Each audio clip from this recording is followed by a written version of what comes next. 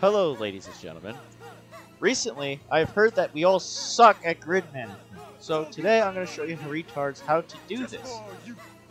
And we'll have good example here, and we'll have bad example over here. So, let us begin, shall we?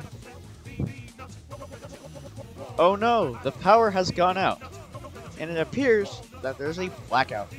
What will our bad example do for the auxiliary grid? Will he A. Turn on to auxiliary. B. Check the generators and then turn on to auxiliary. Or C. Turn on to auxiliary. Let's find out what he does.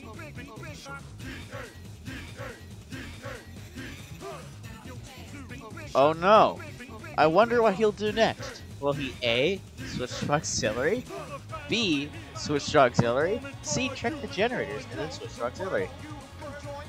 I'm giving you one last fucking chance. Are you switching it to auxiliary or checking the generators first? Get him.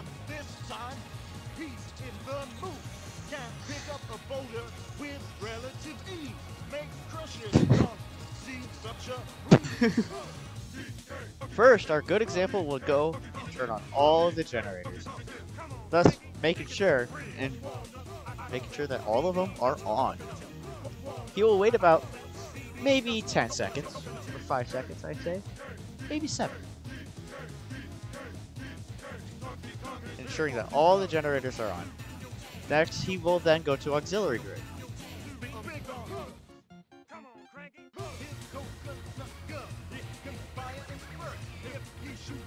Good job!